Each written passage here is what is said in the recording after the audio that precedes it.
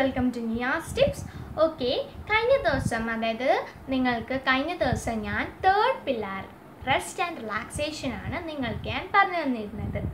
ഇന്ന് ഞാൻ നിങ്ങൾക്ക് പറയാൻ പോകുന്നത് നിങ്ങളോട് ഞാൻ പറയാൻ പോകുന്നത് പ്രോപ്പർ ന്യൂട്രീഷൻ അതായത് ഫോർത്ത് പില്ലാറാണ് പ്രോപ്പർ ന്യൂട്രീഷൻ ആണ്.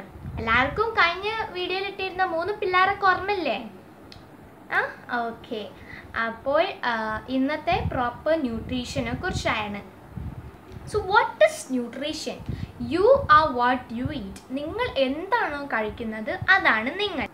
Food is what we eat and nutrition is what our body needs അതായത് നമ്മൾ കഴിക്കുന്നതാണ് ഫുഡ് നമ്മളാണ് ഫുഡ് കഴിക്കുന്നത്. എന്നാൽ നമ്മളുടെ ബോഡിക്ക് ആവശ്യമുള്ളത് ന്യൂട്രീഷനാണ് നമ്മൾ കഴിക്കുന്ന ഭക്ഷണങ്ങളായ ഇറച്ചി മീൻ മുട്ട പയറുവർഗങ്ങൾ പച്ചക്കറികൾ പിന്നെ പഴവർഗങ്ങൾ ധാന്യങ്ങൾ ഇവയിൽ നിന്ന് നമ്മളുടെ ശരീരത്തിന് ലഭിക്കുന്ന protein vitamins minerals carbohydrates fat fibre phytonutrients ഇങ്ങനെ ഉള്ള ഘടകങ്ങൾ മുതലായ ഘടകങ്ങളെയാണ് നമ്മൾ ന്യൂട്രീഷൻ എന്ന് പേരിട്ട് വിളിക്കുന്നത്.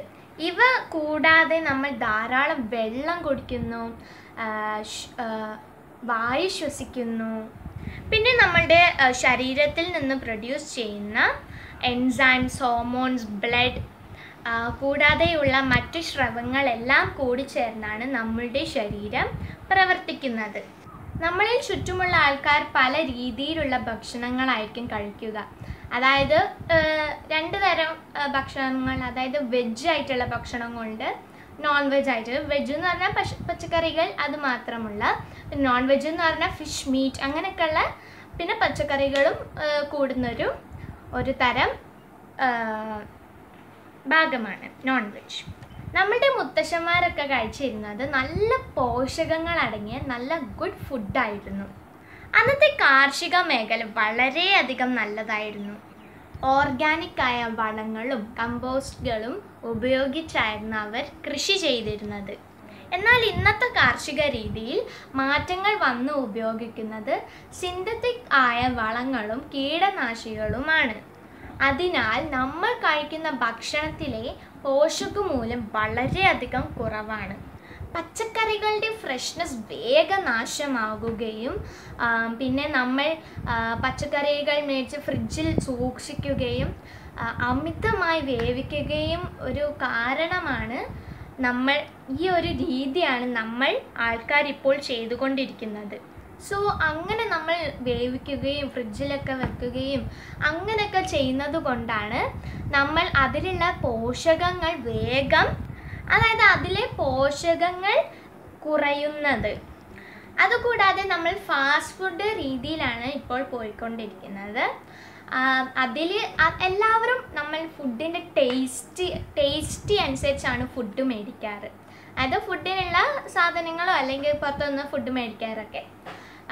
അതുപോലെ തന്നെ നമ്മൾ ആ ടേസ്റ്റി ഫുഡായാലായിക്കോട്ടെ ഏത് ഫുഡായിക്കോട്ടെ ആ ആ ടേസ്റ്റി ഫുഡിൽ കുറച്ച് ഹെൽത്ത് അടങ്ങിയിട്ടുണ്ടോ എന്ന് പോലും നമ്മൾ ആരും ശ്രദ്ധിക്കാറ്? നമ്മൾ അതിന്റെ ടേസ്റ്റാണ് ശ്രദ്ധിക്കാറ്.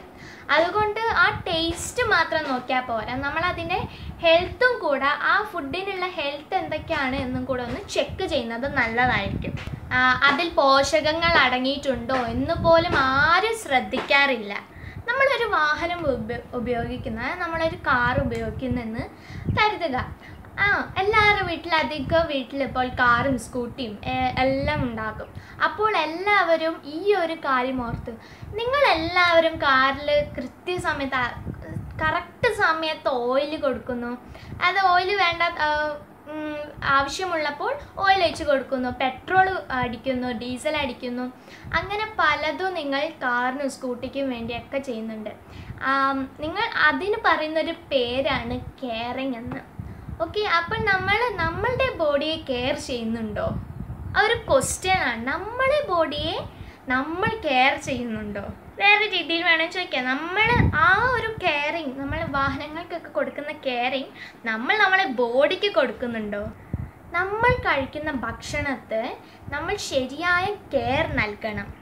കാരണം ആ ഫുഡിലെ ന്യൂട്രീഷ്യൻസ് ആണ് നമ്മളുടെ body health and health level maintain ചെയ്യുന്നതും റിപ്പയർ ചെയ്യുന്നതും ഗ്രോ ചെയ്യുന്നതും അതുപോലെ ശരിയായ ഇമ്മ്യൂണിറ്റി മെയിന്റെയിൻ ചെയ്യുന്നതും ഓക്കെ നമ്മളുടെ ഫുഡാണ് നമ്മൾക്ക് കൺട്രോൾ ഇല്ലാത്ത ചില കാര്യങ്ങളുണ്ട്.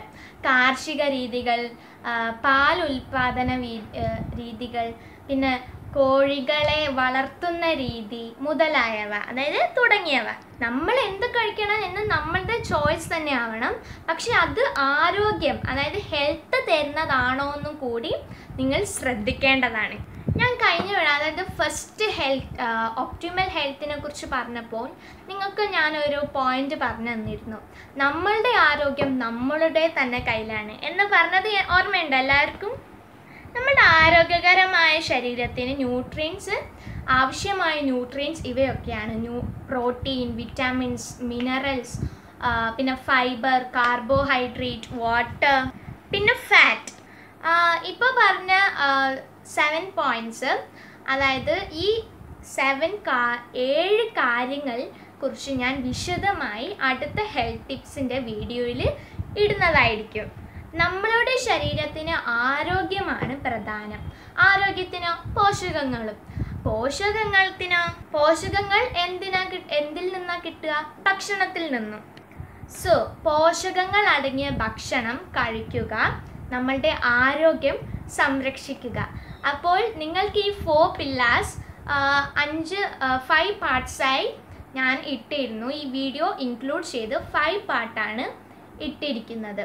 സോ ഈ ഫൈവ് പാർട്സ് ഫുള്ള് കാണുക. അപ്പം നിങ്ങൾക്ക് ഈ ഫോർ പില്ലാസിനെ കുറിച്ച് നിങ്ങൾക്ക് കറക്റ്റായി മനസ്സിലാവുന്നതായിരിക്കും. Okay bye friends